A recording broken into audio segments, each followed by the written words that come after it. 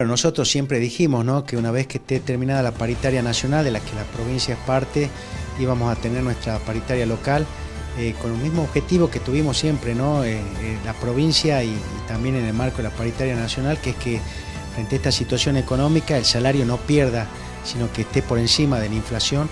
pero esto tiene que continuar, ¿no? Entonces vamos a con esto dar certidumbre a la familia docente de que el salario le va a ganar a la inflación y esto esperamos, bueno, este, seguir la negociación eh, con las instituciones gremiales para poder llegar a algún acuerdo.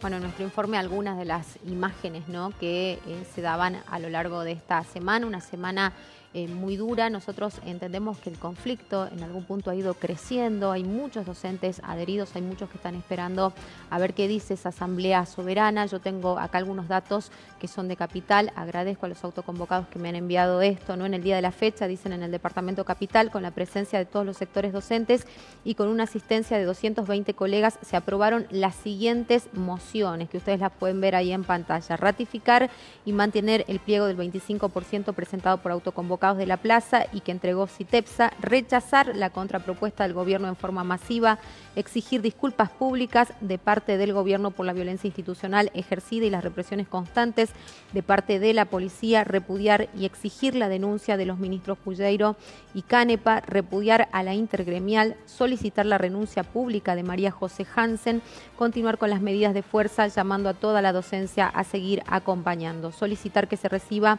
al cuerpo de delegados en solidaridad con los compañeros, pedir la devolución de los días descontados. ¿no? Bueno, ahí estaba un poco lo que es la síntesis de lo que considera Capital que es necesario abordar y seguir, obviamente, a la espera de que se los reciba. Yo voy a presentar a los docentes que me acompañan en esta jornada. Una de ellas ustedes la veían en esas imágenes, estamos hablando de Norma Rosas, le damos la bienvenida. Norma, ¿qué tal? Gracias por, por venir, por compartir esta noche con nosotros. Gracias a vos por involucrarte en esta situación que nos conmueve a todos los salteños y la verdad que las imágenes hablan por sí mismas. Este, yo creo que esta lucha no solamente es de un sector, como decíamos, sino que atañe a toda la sociedad, porque no solamente se está enfocando en un tema salarial, sino que es un tema que viene ya de hace varios años y que se profundiza lo que ha, lo que ha llevado a que la educación esté en crisis totalmente en la provincia bueno, una situación muy compleja. Vamos a analizar a ver qué, cuál ha sido esta propuesta que finalmente ha terminado aceptando ¿no? la intergremial, por eso también entre los repudios está justamente esa decisión, primero de no recibir a los autoconvocados, que es algo que se viene pidiendo, que se viene exigiendo, y por otro lado que los gremios terminen negociando eh, sin la representación de sus bases, ¿no? porque muchos de los autoconvocados también están representados supuestamente gremialmente o están dentro de esos gremios, pero no sienten obviamente el respaldo de quienes eh, llevan adelante esas directivas. Está el profesor Ángel Tolaba con nosotros, ustedes lo conocen, nos ha visitado en muchas oportunidades. ¿Cómo está, profesor? Gracias por venir. Hola, ¿qué tal? Gracias por la invitación. Bueno, ¿cómo es ese incremento? A ver, supuestamente la propuesta que eh, ha dado el gobierno eh, para, como para despejar un poco, para que la ciudadanía también entienda, porque obviamente son mensajes cruzados y este, depende del medio que uno lea, también es eh, lo que uno puede llegar a contextualizar en base a esta supuesta propuesta que eh, aparentemente en algún momento en la jornada de ayer parecía que cerraba el conflicto, por lo menos así se leía en las primeras páginas que empezaban a circular, ¿no? Sí, en primer lugar un mensaje a la población de que el salario del trabajador también es propiedad privada, porque nosotros entregamos una fuerza laboral a cambio y recibimos una contraprestación que es el salario, que debiera ser también rodeado de una seguridad jurídica porque generalmente estos conceptos, propiedad privada, seguridad jurídica, se aplican a capitales, pero no al salario del trabajador. En el año 2019 nosotros conseguimos a través de una gran lucha arrancarle al entonces gobernador Urtubey la cláusula gatillo, lo cual permitía mantener el poder adquisitivo del salario, por lo menos durante la segunda parte del año. Estaba por ley, te cuento. Uh Urtubey se vio forzado a tener que hacer un decreto. Ni bien asume Sáenz, lo primero que hace es derogar esa ley. Si no lo hubiera hecho, seguramente los niveles de salario a comienzo de 2020 hubieran sido diferentes y esto hubiera tenido continuidad y tal vez hoy estaríamos discutiendo otros temas, titularidad, eh, cambio de la currícula, infraestructura, etcétera, pero no necesariamente el tema salario. O sea que esto tiene como exclusiva responsabilidad este conflicto que tiene por principal tema el salario al gobierno provincial por haber derogado esa cláusula gatillo. Y desde ahí han pasado casi dos años, el salario se ha venido a pique, no solamente el de los docentes, sino también el del resto de los estatales. Y es por eso que emerge, eclosiona, luego de haber transitado el 2020 con una pandemia, con cuarentenas, restricciones, que no era el momento propicio para llevar adelante una medida de fuerza. Bueno, el 2021 irrumpe, y sobre todo en esta segunda parte del año, con esa consigna. Y lo que dice el gobierno es que acuerda con la intergremial porcentajes por arriba de la inflación. El tema es sobre la base de qué cálculo, de un salario totalmente devaluado, que por ejemplo tiene a una maestra que recién ingresa en la línea cercana a la indigencia, que en este momento está en 29 mil pesos. Luego tenemos la línea de la canasta de pobreza, que eh, hace una semana actualizó el INDEC, está en 68 mil pesos. Y luego la canasta total, que actualmente está en 140 mil pesos. Son tres referencias ahí. Solo que la primera, aquella, la, la canasta total, se publicita más en las zonas metropolitanas, Cava, provincia de Buenos Aires, Santa Fe, la Universidad de Rosario, por ejemplo, la publicita. Pero en el interior y particularmente en el norte pobre, se trata de instalar como algo naturalizado el salario de pobreza, esa línea de los 68 mil y la línea de la indigencia. Entonces, hay mucho todavía para remar acá, porque, a ver, parte de la pobreza estructural no solamente pasa por no tener dinero en el bolsillo, sino también por no conocer lo que hay que reclamar, lo que necesita una familia tipo, dos adultos, dos menores, para poder satisfacer las necesidades durante el mes. O sea que esta lucha cultural, este avance también es muy necesario. Y lo estamos dando también dentro del movimiento autoconvocado. Lo que ha ofrecido el gobierno ha sido primero un 12%, luego ha agregado este, un par de puntos para llevarlo a un 15%, totalmente insuficiente ni siquiera está superando lo que ofrece, por ejemplo, la paritaria nacional para el salario del docente que recién inicia, que al mes de diciembre estaría aproximándose a los 40 mil pesos, es decir, muy lejos incluso de la línea de la pobreza, los 68 mil pesos. Algo que ha sido rechazado de plano, ¿no? A ver, una familia monoparental de un docente que recién, un docente de grado, pongamos como ejemplo, que recién se inicia, no llegaría ni siquiera a cubrir los gastos de alimentación. Estaría transitando entre la línea de la indigencia y la de la pobreza. Generalmente se ingresa por la actual estructura del salario, a consecuencia de esta decisión de Sáenz de derogar la cláusula gatillo, con salarios cercanos a la línea de la indigencia, es decir, este, eh, todavía no tocando la línea de la pobreza, y aún cuando se tengan 10 años de antigüedad no se despega de la línea de la pobreza de los 68 mil pesos. Cuando, por ejemplo, tenemos otras referencias, en este mes de agosto, otro sector de trabajadores como aceiteros acaba de conseguir un salario para el trabajador que recién comienza de 110 mil pesos. Es decir, algo que se referencia más con la canasta total. Los bancarios, estoy hablando del año pasado, 106 mil pesos para el trabajador bancario que recién comienza. Es decir, hay sindicatos dentro del país que se referencian en la canasta total y así debería ser, como corresponde. Pero bueno, es una lucha que hay que dar. Eh, la autoconvocatoria también es una vanguardia y hace escuela también en esto porque, por el contrario, gobiernos, sindicatos, algunos medios de comunicación tratan de naturalizar que lo que hay que peticionar es un salario eh, cercano a la línea de la indigencia, que serían los 65, los 68 mil, 70 mil pesos. Bueno, hay que romper esa estructura y estamos dando esa pelea.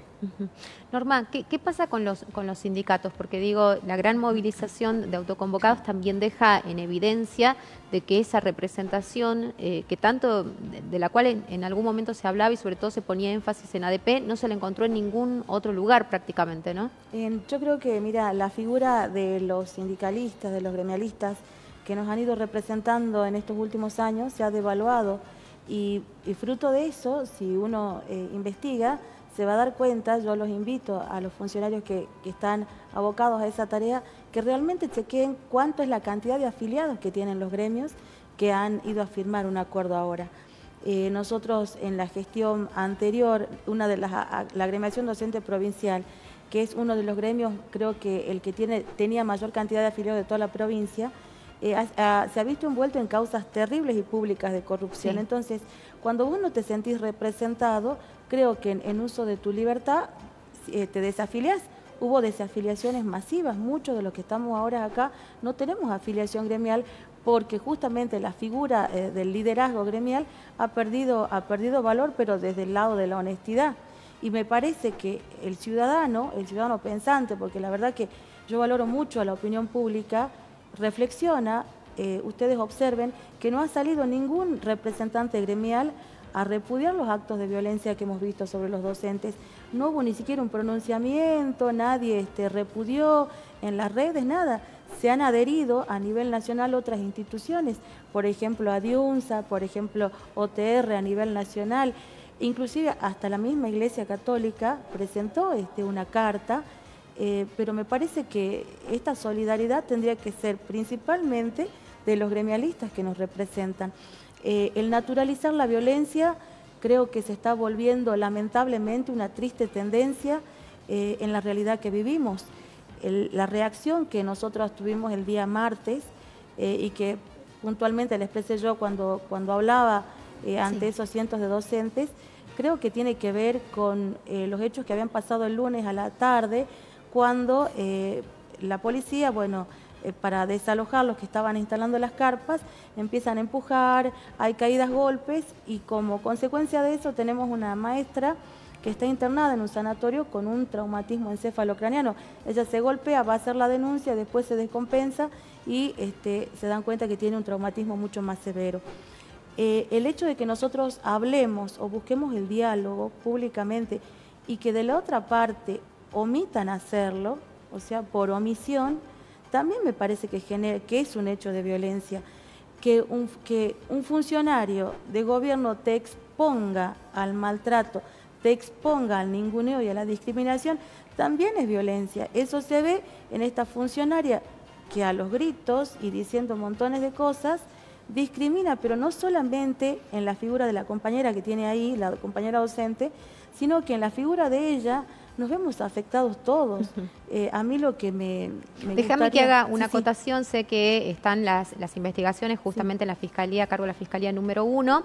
Eh, de esta no hay tanto avance como la del señor que agrede físicamente, ¿no? El tema que hemos abordado la, semana pasada, así que agradezco obviamente que eh, tener esta información para poder transmitirla, donde ya está identificado, ya está citado y el próximo martes aparentemente ya sería imputado justamente por estos tiene una Denuncia, una denuncia penal, o sea, la, la docente, claro, la docente le hizo específicamente a él y obviamente que eso saltó.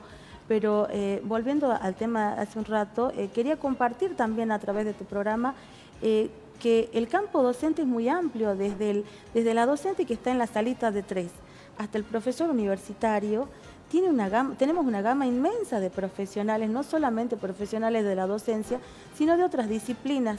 Tenemos abogados, contadores, psicólogos, psicopedagogos, ingenieros que ejercen su rol docente en los distintos niveles educativos. Entonces me parece que es falta también de conocimiento, que el, el plantel docente de la provincia es amplio y nosotros continuamente, por exigencia de la carrera nuestra, estamos en continua capacitación. Hasta el último día que ejercemos nuestro magisterio, estamos en permanente capacitación si nosotros les enseñamos a nuestros alumnos que tienen que seguir adelante, que tienen que perfeccionarse, que tienen que estudiar, que no tienen que discriminar, que tienen que validar el diálogo, la resolución alternativa de conflictos y que unos funcionarios este, gubernamentales actúen de manera distinta a lo que nosotros estamos enseñando, provoca una reacción también.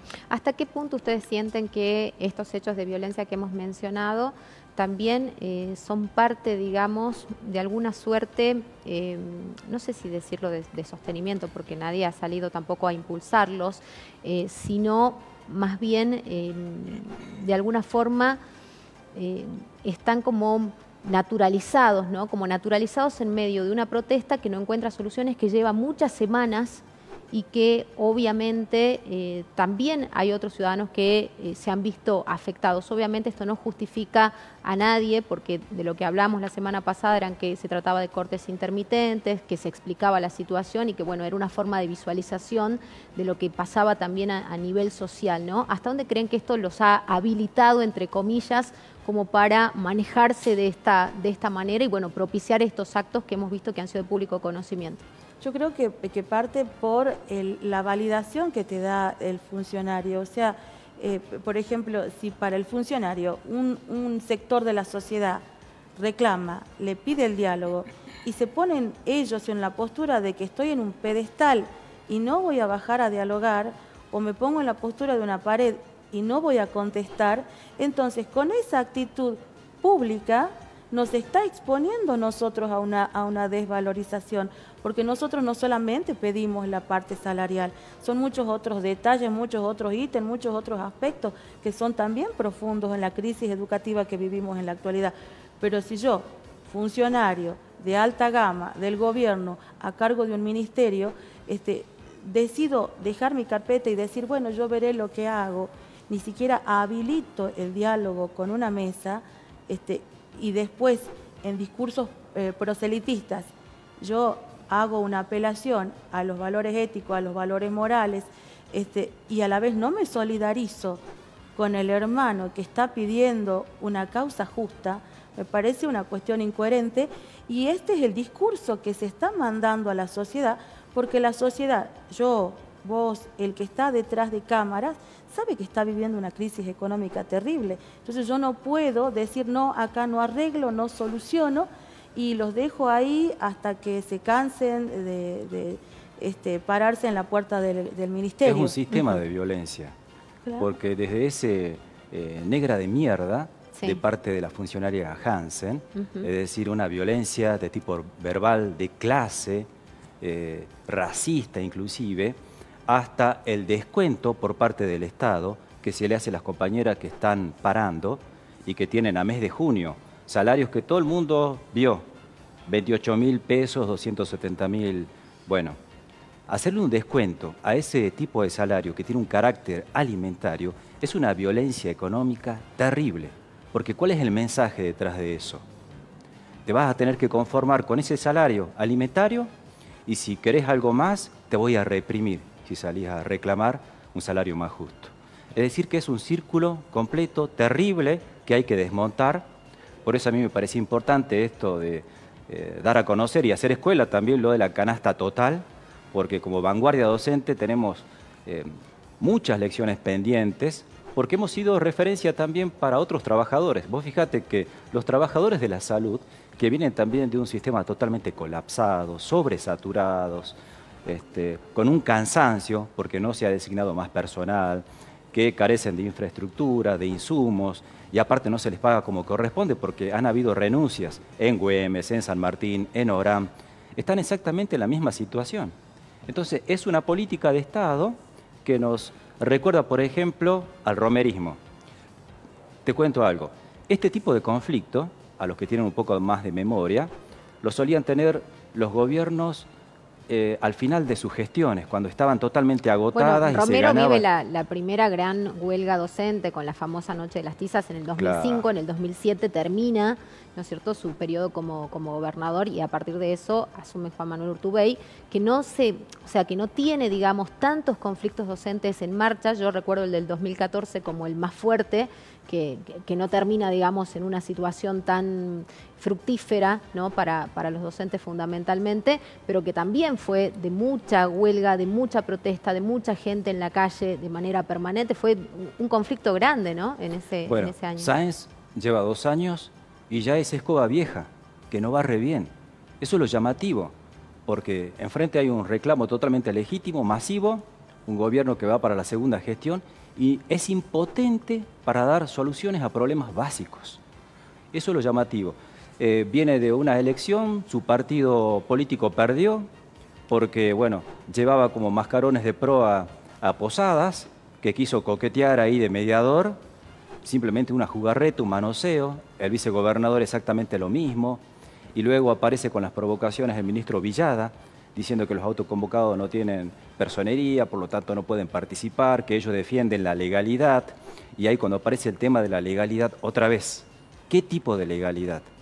¿A qué dirigentes que tienen esa legalidad?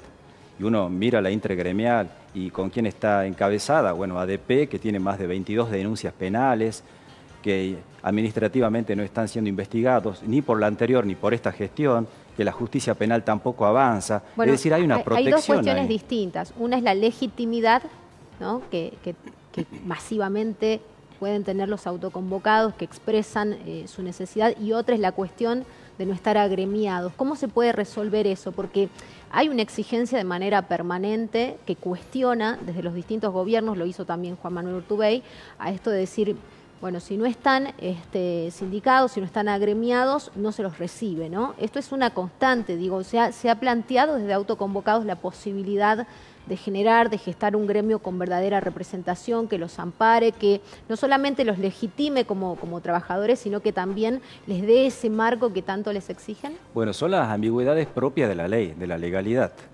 A veces la legalidad está más cercana a la legitimidad y otras veces simplemente es una pantalla para encubrir lo que hay detrás, como pasa en este caso que estamos mencionando. Por el momento se está planteando también una dificultad interesante, porque vos fíjate, autoconvocados hemos comenzado nosotros a parar de manera progresiva desde el mes de mayo, junio, julio, por varias razones, salariales, de infraestructura, sanitaria, había departamentos que estaban en Bordeaux, igual que el Gran Salta, ANTA, por ejemplo, tuvo un paro de un 100% en todos los niveles educativos. Y eso fue antes de que llamara el gremio CITEPSA a parar, porque CITEPSA llamó a parar desde el mes de eh, agosto, el 2 de agosto. Bueno, esto pone sobre el tapete más que nunca que deben ser los propios autoconvocados los que tienen que tomar las riendas de esta lucha para acceder a esa discusión con el gobierno y garantizar el respeto del derecho a huelga, porque el derecho a huelga es un derecho principal, porque si no, no se respeta el derecho a huelga, no es posible luego pelear por ninguno de los otros derechos. Y por lo tanto no podemos avanzar socialmente. Bueno, autoconvocados tenemos todavía eh, esa batalla pendiente, exigir que se nos reconozca y que desde autoconvocados defendamos todos los paros de autoconvocados que se han hecho este año. Eh, ¿Qué mensaje le quieren dejar a la sociedad? Porque me imagino que también eh, con estas informaciones que son diversas, que son diferentes, obviamente eh, hay muchas familias que quizás no conocen todo el trasfondo o, no han seguido el derrotero ¿no? del día a día de lo que ha sido la lucha docente hasta acá. Por eso me gustaría que, se lo expliquen, aunque sea brevemente, que les digan por qué todavía siguen en las calles, por qué más allá de la, de la propuesta que acuerdan los gremios y que firman en la jornada de ayer, hay muchos docentes, una gran cantidad de ellos que han decidido continuar con esta medida hasta que la Asamblea de manera soberana resuelva ¿no? cómo, cómo se va a seguir. Eh, mira, yo creo que más que un mensaje, quizás una reflexión. Me parece que aquí hay dos partes que están en conflicto, que lo importante es solucionarlo, que absolutamente todas las oficinas de, del gobierno provincial tienen este, espacios de mediación y se supone y se sobreentiende que los funcionarios están altamente capacitados en mediación y resolución de conflictos. Si no lo están, se evidencia en que esto ya lleva cuatro semanas y no se soluciona. Em, el que tiene la facultad para convocar y todo, eh, a los, tanto a los autoconvocados como a otros gremios, porque no solamente son los autoconvocados los que no ingresaron, sino hay otros gremios también, Este, me parece que es de parte del Ministerio de Educación. En segundo lugar, si no hacemos una reflexión sobre los resultados de las últimas elecciones, la cantidad de votos en blanco que, fue uno de los grandes, de lo que llamó la atención en estas últimas elecciones. Si no vemos cómo está la realidad del conflicto docente. Y si no analizamos que a la vez que el conflicto docente eh, surge como reclamo salarial, detrás nuestro se encolumnan otros sectores de trabajadores, por ejemplo, los de la salud, que también estuvieron acompañando y dando su presencia en, el Centro Cívico Granbura, acompañando a los docentes, también están los municipales, también está la gente de seguridad. Entonces me parece que siempre esperamos cómo se soluciona el conflicto docente para recién poder nosotros este, ver si se va a ver reflejado también en nuestro gremio o en nuestro sector laboral un aumento. Yo creo que esto se tiene que solucionar, se tiene que destrabar y que el que tiene obviamente toda la facultad para recibirnos y dialogar es el gobierno provincial a través del Ministerio de Educación. Yo dos mensajes, uno a la población y otro a los docentes. Para los docentes, miren, estamos en un paro altísimo, nunca antes visto porque ha sido sostenido, y ha ido avanzando, no ha decaído esto, al contrario, hemos transitado todo el repertorio de autoconvocados en sus mejores momentos cuando hemos conseguido cosas. Hay que defender esto. Estamos fuertes, terminamos una cuarta semana de paro por tiempo indefinido. Eh, bueno, en este momento muchas asambleas departamentales están votando precisamente continuar con el paro. ¿Esto se define en una asamblea mayor? Así es, este fin de semana seguramente habrá una asamblea mayor provincial ya para definir provincialmente, como seguimos la semana que viene, y para la población que acompaña esta lucha. Porque la población sabe que acá, en esta provincia donde no tenemos cordones industriales, donde la actividad privada no es fuerte, el salario estatal es fundamental y es la referencia. Y la paritaria testigo es la paritaria docente. Si los docentes podemos elevar el salario para recuperar el poder adquisitivo, esto se va a replicar luego en el resto de los estatales y hasta en el sector privado. Entonces, si ganan los docentes, ganamos todos. Y ahora más que nunca, sobre todo en esta coyuntura de mucha inflación. Muchísimas gracias, gracias a ambos, gracias por acompañarnos en esta noche. Nosotros nos vamos a la pausa, quédate ahí, ya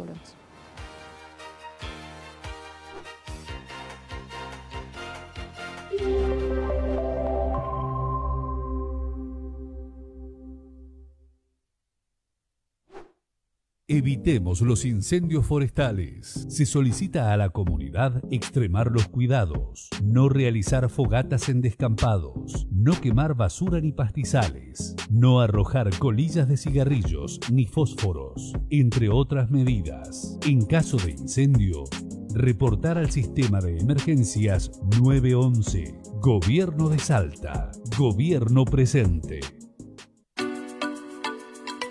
Los vecinos de la ciudad de Salta tienen a su disposición en el Consejo Deliberante los servicios que brindan las oficinas de atención al vecino, asesoramiento a mujeres en situación de violencia de género, centro comunitario de mediación y asistencia a víctimas de siniestros viales.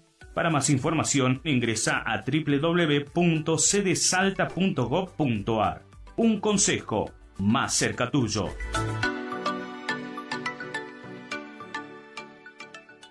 ¿Ya descargaste la aplicación Saeta en tu celular? Entra a Google Play y baja nuestra aplicación. Podés acceder a la ubicación de los coches urbanos y metropolitanos y saber por dónde va el colectivo que estás esperando. Saeta App, otro servicio de Saeta.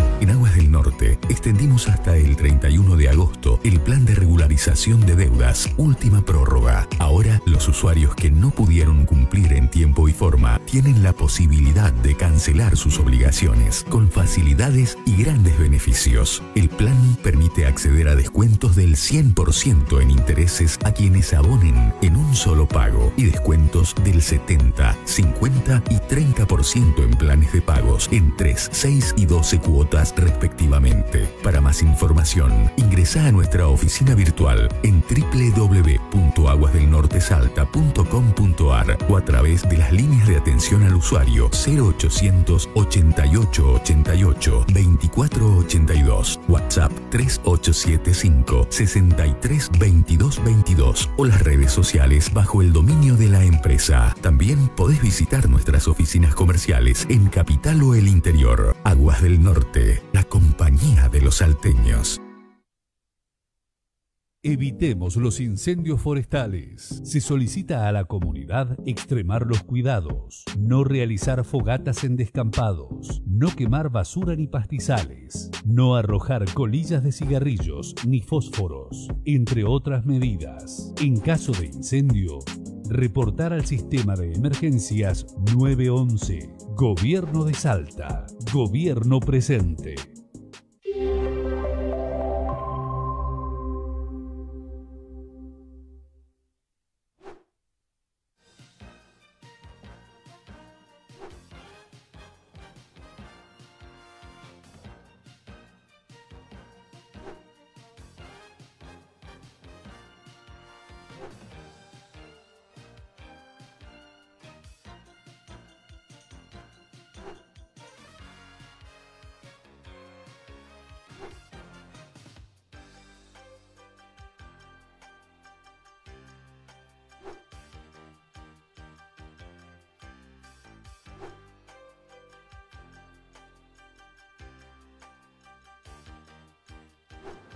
Seguimos acompañándote en esta noche y obviamente tenemos que tocar el tema de las elecciones nacionales. Ya sabes que se vienen las pasos, van a ser este 12 de septiembre. Es obligatorio ir a votar.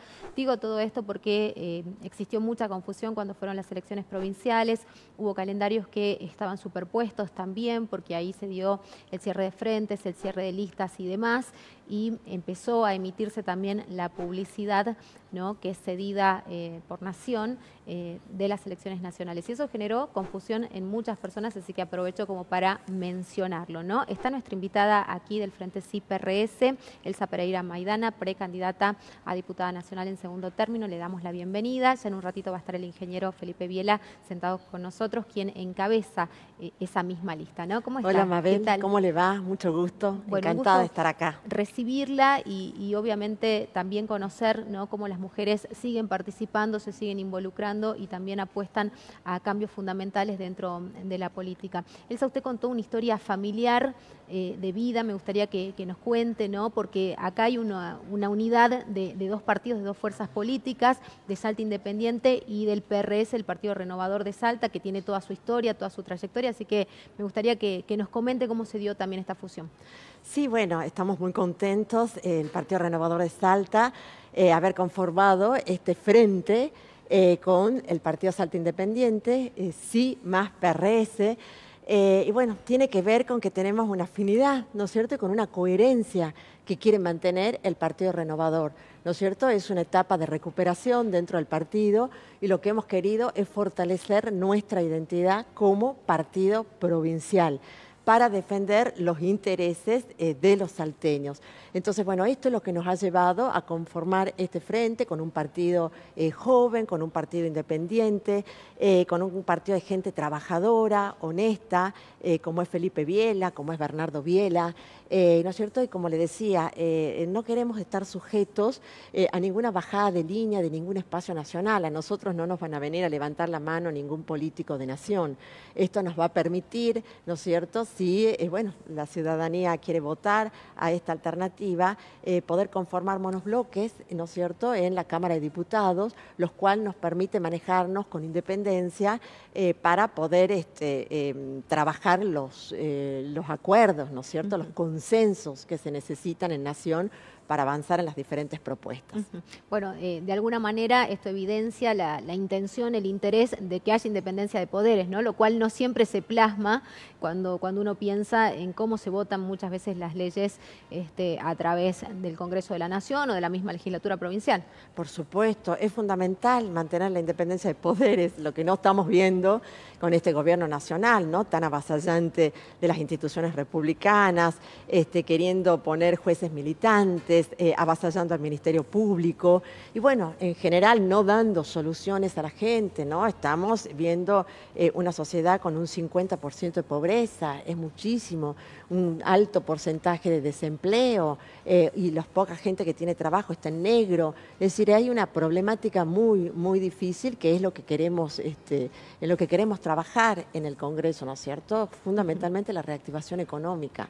Estamos pasando por un momento muy difícil del país, del país por eso y de la provincia, por eso yo digo que estas elecciones nacionales son cruciales porque está en juego el futuro de nuestra provincia y de nuestro país. Bueno, recién Ángel Tolaba planteaba esto de que eh, en provincias como Salta se depende mucho eh, económicamente lo que es el salario del estatal, porque no hay generación eh, justamente del empleo privado, ¿no? O es muy escaso, es, bastante escueto por, por, una falta de desarrollo, lamentablemente, que han tenido provincias como la nuestra. Por supuesto, esto es evidente, no hay desarrollo y no puede haber si el empresario, el que genera empleo genuino, no tiene facilidades.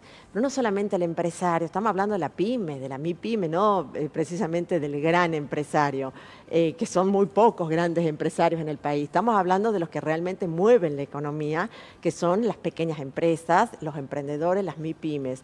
Eh, yo digo que eh, lo que nosotros proponemos básicamente es que tenemos que ir a acuerdos, ¿no es cierto? acuerdos de reconversión fiscal y laboral porque como abogada este, creo que ha fracasado el sistema laboral e impositivo en la Argentina. Esto está a la vista con este porcentaje de, desempleo que hay o de empleo negro, es decir, hay una norma que no se está pudiendo cumplir y uno de los temas por los cuales no se está pudiendo cumplir es el agobio fiscal.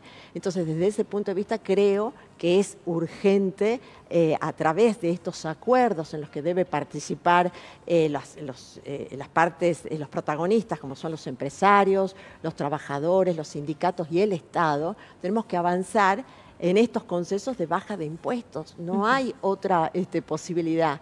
Eh, ni créditos blandos, ni otras alternativas, porque eh, no me des pero no me quites, es lo, que, estamos, es lo que estamos planteando, ¿no? Es fundamental avanzar en eso. Hay tantos impuestos distorsivos y es una cuestión, fíjese, voluntad política. Esto es un listo, para decirlo de alguna manera, que hace años se vienen planteando en los sectores. Y realmente tenemos que dar el debate sobre la revisión impositiva y también la revisión laboral. Y otro tema este, importante es el tema de, las, eh, de los planes sociales. Esta cantidad de planes sociales que son pan para hoy, hambre para mañana, es decir, los tenemos que reinvertir, los tenemos, eh, eh, los tenemos que complementar. La gente que tiene plan social, que por supuesto no los podemos sacar de cuajo porque va a quedar muchísima gente desamparada, eso está claro, pero tenemos que ver cómo los vamos a ir este, complementando o cómo los vamos a ir este, eh, absorbiendo en el sistema legal.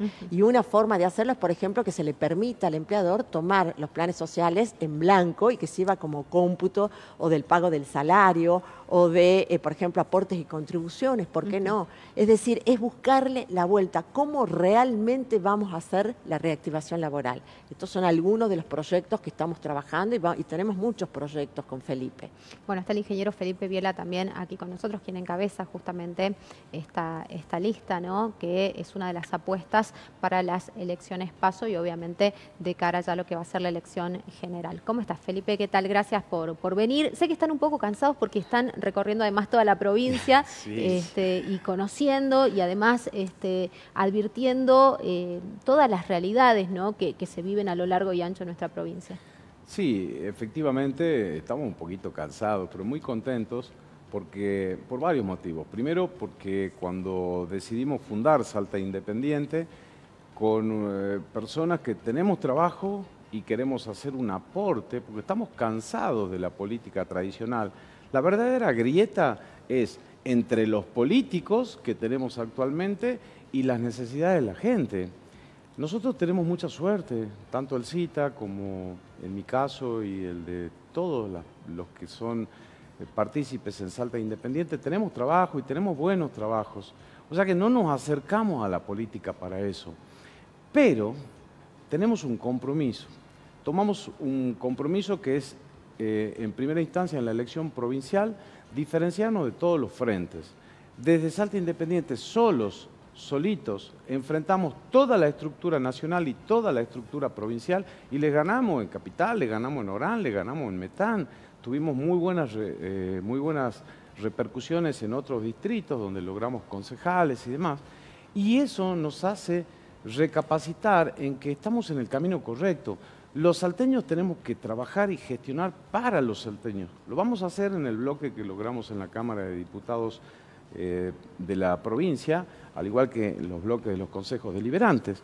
Y en ese contexto resolvimos conjuntamente, como partido independiente y salteño que somos, sumar al Partido Renovador Salteño, y acá tenemos una, yo siempre digo, tenemos una acompañante que no solo es renovadora, es una renovadora de paladar negro, de pura cepa, ¿no? Realmente eh, reúne todas las características esas que tiene este partido, que además de ser provincial, siempre ha defendido los intereses de la provincia. Y eso es lo que vamos a hacer nosotros. Vamos a trabajar por los salteños y para los salteños, Mabel. Porque no importa quién esté en la Casa Rosada, a Salta siempre la han discriminado. Salta paga los fletes más caros, la energía más cara y produce siete veces la energía que necesita y la exporta al resto de la Argentina y Latinoamérica y la pagamos más cara. Preguntale a doña Rosa cuánto le cuesta la garrafa de gas en Salta, muchísimo más que en el sur, y nosotros la producimos. La nafta, los fletes, absolutamente todos los impuestos. Y por ese motivo no se instalan industrias y, no se genera desarrollo. A esto le agrego este, el agravante de que tenemos salarios muy bajos. Digo, no es la misma realidad que se vive en otras provincias. Así es, así es. Nos han discriminado siempre, siempre. Eh, nadie nos va a regalar nada. Es mentira esto de que porque vos eh, sos del mismo signo. No, los amigos no existen en política. Hay que ir, plantear, gestionar y conseguir cosas y defender los intereses de los salteños, ¿no? Estuvo quien estuvo en la Casa Rosada, a Salta la perjudicaron. Salta, fíjate una cosa, tiene los peores indicadores conjuntamente con Formosa, pero Salta es riquísima, es una provincia que tiene de todo, al igual que Mendoza, tiene petróleo, tiene gas, tiene minería, tiene turismo, tiene recursos naturales, tiene cultivos e-, extensivos e intensivos, y Salta muchos más cultivos extensivos que Mendoza. Y sin embargo, Mendoza está 100 veces mejor. ¿Y sabe por qué?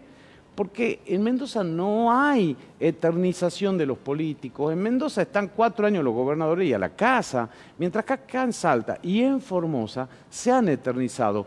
Y esta es una de las propuestas principales que va a llevar Salta Independiente a la convención. Eh, y vamos a defenderla con capa y espada. Pero volviendo al terreno nacional, nosotros no vamos a hacer una oposición boba, una que pone palo en la rueda permanentemente. Eso no sirve. Nosotros vamos a ir Vamos a acompañar los proyectos que a los salteños les sirva. Vamos a proponer cantidades de cosas. Tenemos propuestas, escuchaste recién eh, el, trabajo que estamos haciendo para generar eh, movimiento y reactivación en la economía. Y tenemos un programa de vivienda impresionante que lo vamos a llevar adelante. También en otros rubros más sensibles como la salud, como la educación. Vos sabés que conocemos en profundidad los problemas de la educación. Hace 30 años que somos educadores y esto nos da una gran ventaja frente a los demás políticos que nunca han tenido que habilitar ni un kiosco. Eh, hoy si vos querés habilitar un kiosco, termina en el psicólogo. Y si querés emprender en Salta y en muchos lugares de la Argentina, es una misión imposible. Entonces, nosotros sabemos, conocemos, eh, somos personas de trabajo, eh, tenemos que pagar sueldos, tenemos que lidiar con la FIP, tenemos que lidiar con renta, tenemos que lidiar también muchas veces con los gremios. Eh, en el caso de el CITA, es una emprendedora gastronómica también. Imagínate lo que vivió en la pandemia. Y acá está de pie y ahí está su negocio. Puedo pasar el chivo, Macacha, seguramente todos han ido a tomar un café a Macacha. ¿Sabés que es descendiente de Güemes, Macacha? Mira, qué bien. Buenísimo. Sí, sí, no, no, la verdad que sí, nosotros somos trabajadores, laburantes comunes como que cualquier conocen la realidad desde Conocemos la realidad en profundidad, tenemos deuda, tenemos que pagar este, a la gente, eh, tenemos que pagar impuestos, eh, pero bueno, no nos tenemos que, tenemos la remamos hace años y todo sigue igual esto necesita un cambio, es decir, y eh, tiene que ver eh, con ser políticos comprometidos, ¿no es cierto? Nosotros eh, por eso nos involucramos, queremos participar, ser comprometidos y cumplir. Y además los políticos tenemos que rendir cuentas, tenemos que rendir cuentas de lo que hacemos, es fundamental. Este, la política es buena, es un instrumento de cambio, de verdad, pero bueno, este, está muy desprestigiada por los malos políticos y eso es lo que tenemos que revertir. ¿Qué, rol tienen los ciudadanos? Porque mm, acá siempre decimos, bueno, se elige a los mismos, de vez en cuando aparecen caras nuevas, eh, pero pero bueno, aquellos que han estado durante mucho tiempo eh, es como que ya tuvieran casi el voto cautivo, lo que no se ha visto en la elección pasada porque hubo muchos históricos que terminaron con resultados absolutamente desfavorables, lo que además del planteo del voto en blanco que se hacía en el, en el bloque anterior también deja una lectura, ¿no? De que hay un cansancio, un hartazgo de la gente quizás por personas que o han cumplido su ciclo o que en su momento no han dado las soluciones que, que los salteños queríamos. Los salteños los han jubilado porque entienden que no han trabajado para los salteños. Ahora, por supuesto que las estructuras gubernamentales, tanto a nivel nacional como a nivel local, tienen recursos ilimitados y desgraciadamente nosotros vemos como mucha gente, mucha gente por cuestiones de necesidad y demás, termina cambiando el voto por, por algún bolsón o lo que sea, y luego padece cuatro años, ¿no? Pero fíjate que en Salta está cambiando. Fíjate cuántos políticos se han tenido que ir a la casa, cuántos políticos han jubilado los salteños. ¿Cómo se evalúa también aquellos que me no parece hacían nada? maravilloso, me parece maravilloso, porque creo que es la primera vez, es un momento bisagra. Lo que pasa es que estamos tan mal, no nos damos cuenta, pero la recuperación de la pospandemia va a necesitar que nos comprometamos de verdad, que trabajemos de verdad, no como estos políticos que en plena pandemia, mientras todos tenían que estar cerrados y nosotros, un grupo de, empresarios, de consejos profesionales y demás, estábamos trabajando duramente para lograr la apertura a través de protocolos, lidiando con el gobierno, estos políticos se han dado un aumento del 40% de su dieta, mientras a todos los trabajadores le ofrecían el 20 o el 25 porque decían que la inflación iba a ser del 25 o 28. Es decir, esas son las cosas que nos avergüenzan tenemos que ponernos los pantalones largos los salteños e ir a defender los intereses de Salta en el Congreso, gestionar. Los legisladores tienen que gestionar también. Nosotros lo hicimos. Cuando Bernardo estuvo, gestionamos cantidades de cosas para la provincia. Cuando llegó la vacuna, la vacunación antigripal, no había vacuna en Salta y fuimos con Bernardo al Ministerio de Salud. En ese momento era Carla Bisotti, mira la hoy ministra, era la que estaba a cargo de las vacunas y las mandaron. Y éramos opositores acá, los únicos opositores que había, ¿no? Eh, de eso se trata. Lo que es bueno para los salteños es bueno para nosotros. Nosotros somos salteños, mis hijos son salteños, hemos estudiado acá, estamos comprometidos y vamos a dar batalla para tratar de poner a Salta de pie y por supuesto en ese trabajo vamos a lograr que la Argentina se ponga de pie, ¿no? Felipe, ¿hay alguna salida que sea más, más rápida, más viable en relación al tema vivienda? Vos sabés que vos más que nadie, me imagino, conoces efectivamente cuál es la realidad eh, de las miles de familias ¿no? que están esperando desde hace años poder acceder eh, de alguna forma a esa, a esa primera vivienda eh, para cubrir sus necesidades, para tener que dejar de alquilar, para dejar de vivir hacinados. Bueno, las múltiples realidades que pueden existir. Realidades muy tristes. Mirá, yo soy un apasionado, vos lo sabés, del tema déficit habitacional. Desde nuestra pequeña empresa familiar hemos hecho realidad el sueño de la vivienda propia de miles, no solo de salteños, de argentinos, porque hemos construido en Salta, que es donde más se nos conoce, pero lo hicimos en siete provincias de Argentina y en la capital federal, y siempre apuntando a los segmentos medios y siempre en crisis, porque la Argentina siempre está en crisis. Ahora, a partir de esa pasión que tenemos por la vivienda, que no solo genera una herramienta de construcción social, porque en la vivienda vive la familia, los hijos estudian, se les da protección, si tenés un núcleo húmedo adecuado, salubridad, tienen además que tener cerca los servicios, la escuela, la canchita de fútbol, y eso lo saca de las calles. Además de eso, la vivienda genera una motorización terrible de la economía porque la construcción es la madre de todas las industrias. Por cada peso que se invierte en la construcción se generan siete pesos de producto y gana plata el albañil, el mecánico que le arregla la moto, también el panadero, el almacenero y por supuesto el que hace yeso, el que coloca pisos, el techista, el que da servicios y trae, por ejemplo, los áridos, todos los corralones, más 250 industrias cautivas. Entonces, esta pata de la vivienda es fundamental. Por tal motivo, como he investigado el tema, he escrito un libro recientemente que se denomina Una vivienda para cada argentino, donde plasmo mis deseos y todas las ideas y las cosas que hay que hacer para complementar los tres sistemas de producción de vivienda, el sistema público, el sistema privado y el sistema social, para que produzcan muchísimo más a mejor costo y den solución a esta problemática, principalmente para todos aquellos que no pueden acceder hoy al IPB, que son miles, y tampoco tienen posibilidades de acceder a créditos o a otras alternativas, en donde el Estado no es solamente un Estado paternalista, bobo, que no hace nada además, porque acá se reciben los fondos del IPB que genera el impuesto a los combustibles y, no tiene ninguna otra iniciativa, sino que tiene un rol preponderante en donde genera iniciativas para los diferentes segmentos eh, y de esta manera se puede lograr rápidamente poner en marcha este mecanismo. No es un problema que lo vamos a solucionar en un año, pero yo te garantizo que si nos lo proponemos los salteños en 10 o 12 años, vamos a disminuir el déficit habitacional a tasas más o menos como los que tiene la región, como lo que tiene Chile, como lo que tiene Uruguay. Eso lo han podido hacer. Es cuestión de proponérselo, es cuestión de trabajar.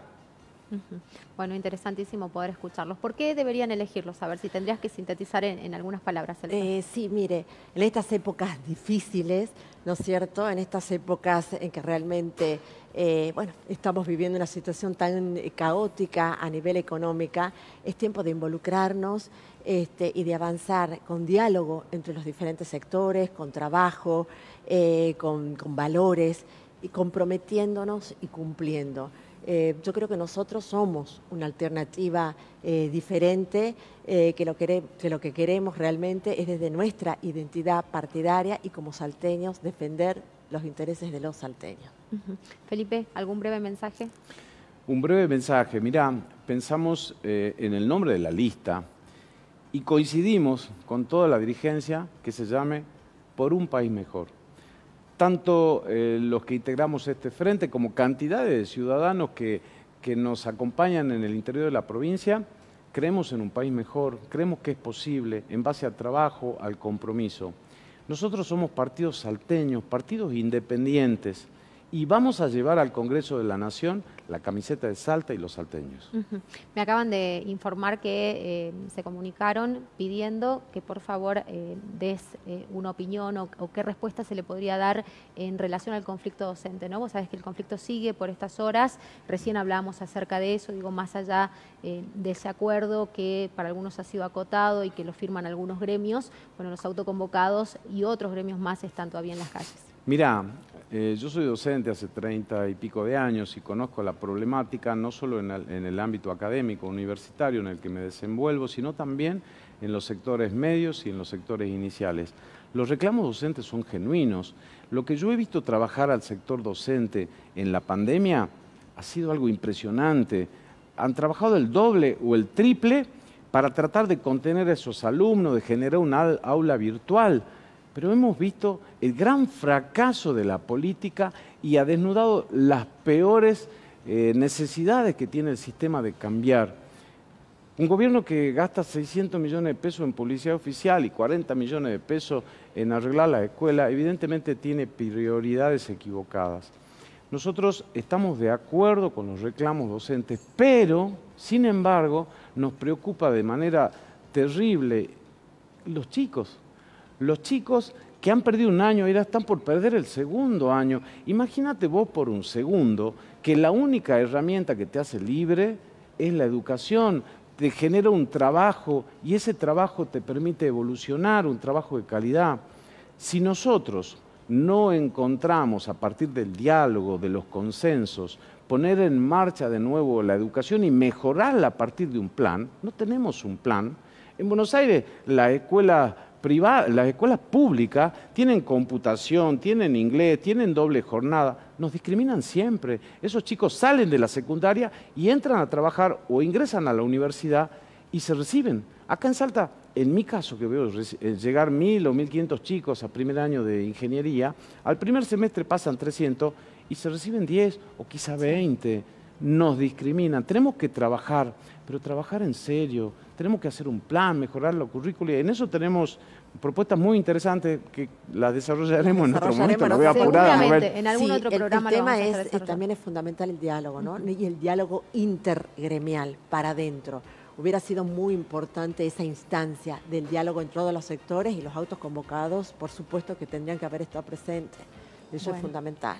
Muchísimas gracias. Gracias a ambos por venir, por acompañarnos. Nos hemos quedado corto de programa. Nos gustaría extendernos un poquito más dialogando con, con ambos, pero tenemos que cerrar. Les agradecemos a ustedes por estar del otro lado y por supuesto te recordamos que la cita es aquí cada viernes a partir de las 21. Chau, chau.